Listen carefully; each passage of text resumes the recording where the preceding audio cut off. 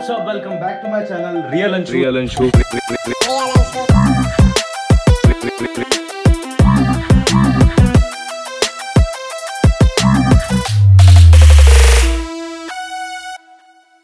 Hey guys आप सभी का मेरे इस चैनल में स्वागत है। और ये जो कहानी है ये बहुत पुरानी है। पुरानी है इससे मेरा मतलब है कि 3 अगस्त 2022 हाँ हाँ जानता हूँ ज़्यादा पुरानी नहीं है। खैर वो सब बातें छोड़ते हैं और कहानी पे फोकस करते हैं। तो ये कहानी उस टाइम की है जब अकलतरा में यानी हमारे दला पहाड़ पे नागपंचमी का मेला लगा था। और मैं और मेरे साथी मेले के तीसरे दिन, यानी आखिरी दिन, पहुँचे मेला देखने। पर हमारे पहुँचते तक मेला ख़त्म हो चुका था। और उसके बाद जो भी हमने एक्सपीरियंस किया, जो भी हमने देखा, वो आपके सामने है। तो अभी हम लोग जा रहे हैं उसी मेले में। पहले मैं जाने वाला था अपनी गाड़ी में, पर पांडा भैया ने मना कर दिया कि अपनी गाड़ी में मत जा। वहाँ पार्किंग में गाड़ी छोड़ के जानी पड़ेगी तो पता नहीं कुछ रिस्क है तो नहीं करते। पांडा भी आ गए। तभी हम लोग चलते हैं। इधर जाना इधर। सो इस बाइक में मैं पांडा भैया बैठे हैं। एंड उस बाइक में बैठा है राहुल भाई। और ये थाउज़ेंड सी की गाड़ी। अंकल की गाड़ी अंकल की प्यारी प्यारी गाड़ी। सो कल्तरा से निकलते ही अपन आते इधर बरगवा की तरफ़। एंड थोड़ा सा आगे जाते हैं तो लेफ़्ट साइड पे एक रोड कटता है रेडियंट स्कूल के बाजू से। हम लोग उस रोड में घुस गए एंड वो जो रोड है वो ये रोड है। एंड ये रोड के साइड में उतर उतर के मैंने बहुत फ़ोटोज़ खिंचाई है। दला पहाड़। दला पहाड़ का बहुत पहले एक वीडियो आया था, जब स्टार्टिंग में मैंने व्लॉग को अच्छे से समझना चालू किया था और अच्छे से करना चालू किया था। वो वीडियोज़ आप लोग ने बहुत अच्छे से देखा और शेयर किया तो उसके लिए बहुत बहुत धन्यवाद। और ये रहा दला पहाड़। इतने पास आने के बाद दिख रहा है। और लोग तो दिख नहीं रहे अभी। पर यहाँ इधर आजू बाजू कचरा देख के बोल सकता हूँ कि बहुत भीड़ रहा होगा। बहुत ज़्यादा ही। एकदम हर तरफ़ इतना गंदा कर दिया यार ये बस मेले का मेरे को यही चीज़ ख़राब लगता है कि इतना गंदा हो गया ना दला पहाड़ हमारा एरिया इतना साफ़ एरिया। इधर का हवा भी एकदम प्योर रहता है। आज तो बदबू आ रहा है भाई। छी यार। सो अभी हम लोग पहुँच गए दला पहाड़ पे एंड वो उधर है पॉइंट जो आपको पेड़ की वजह से दिखेगा नहीं।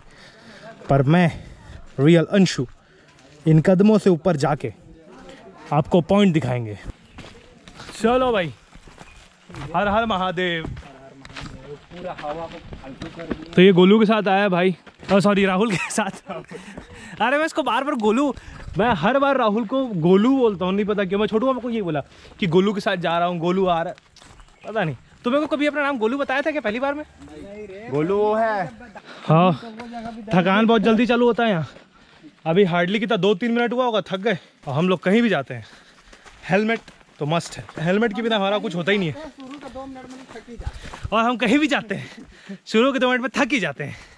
ये मेरे हर ब्लॉग में देख सकते हैं। और ऐसे ही थकता हूँ तो फिर लाइनें भूल जाता हूँ, कुछ बोल नहीं पाता हूँ मैं। हर बार ऐसे ही होता है। और क्रेजी यार। एंड पूरे रास्ते में देखते आ रहा हूँ ये डिस्पोजल और पानी बाउस का पैकेट बहुत बुरा हाल कर दिया यार दलहा का। हमारा दलहा इतना प्यारा, इतना साफ़ सुथरा था ना। ये हेलमेट वहाँ गिरा दिया पांडा भैया ने। कोई नहीं। लोगों ने इतना कचरा गिराया हम गलती से हेलमेट नहीं गिरा सकते। चलो। अबे मैं चप्पल पहन लूँ क्या तेरा मेरे को यही समझ नहीं आ रहा। मैं रास्ते पर देखते आ रहा हूँ। लोग चप्पल जूते छोड़ के गए। रियल है हम रियल। इसका नंबर को ट्रू कलर में सर्च करके देखना। डुप्लीकेट अंशु लिखा सारे पानी पाउच है। कुछ तो यूज़ भी नहीं है तो हम लोग यूज़ कर रहे हैं उसको। यूज़ करके पन्नी हम अपना कचरा ले जाएँगे भाई। बोरी है भाई पानी पाउच का बोरी बोरी। जब पहली बार आया था तो मैं इतने में भी चार पाँच ब्रेक लेके आया था। इस बार ज़्यादा रुके नहीं है। बारिश हो रही बारिश। बारिश हो रही है। बारिश बंद करो। बारिश बंद हो गई। तो वही सीन है अभी हम लोग बस थोड़ा देर रेस्ट करेंगे पानी नहीं पियेंगे फिर निकलेंगे। और फिर बारिश हो रही फिर बारिश हो रही है। बारिश बंद करो भगवान बारिश बंद करो। बारिश बंद हो गई। आपके लिए हम बारिश करवा सकते हैं बंद करवा सकते हैं। रियल अंशु सब रियल है। ए, पानी पहुँच जाए इधर। काफ़ी देर से अकेले चढ़ते आ रहा था पांडा भी लोग आए नहीं है। वो लोग थक के हालत ख़राब हो गई उनकी मेरी भी ख़राब हो गई कुछ बोल तो पा नहीं रहा हूँ। भाई मिल गया। ये मैं पहचान गया था वहाँ से शायद देख लिया था मेरे को हाँ सुबह ऊपर ऊपर से देखा था। कौन से स्कूल में भी महावीर में भैया। चल मिलना कल तरह में ना? ठीक है ना भैया। चल ध्यान रखना। हाँ वो लोग को भेजना। बोलना अंशु बुला रहा बहुत ऊपर पहुँच ठीक है ना भैया। चलो ओके बाय। Bye bye. मैंने एक अच्छी हाइट अचीव कर ली है। क्योंकि यहाँ से जो है व्यू दिख रहा है। मौसम में थोड़ा ह्यूमिड है। तो कुछ क्लियर दिख नहीं रहा, धुंध धुंध सा दिख रहा है सब। तो या जो भी होगा, दिखाएँगे। और ये दला पहाड़ का आखिरी सेगमेंट जो बहुत ज़्यादा स्टीप है। एंड जहाँ पे ऐसे सीधा वॉक करना थोड़ा मुश्किल है। मुश्किल क्या? नामुमकिन है अभी ऐसे। थोड़ा लो होके चलना पड़ेगा।